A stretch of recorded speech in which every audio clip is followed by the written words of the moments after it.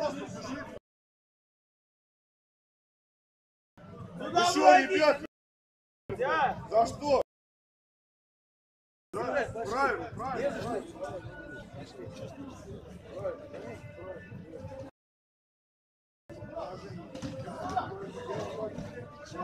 Вы что?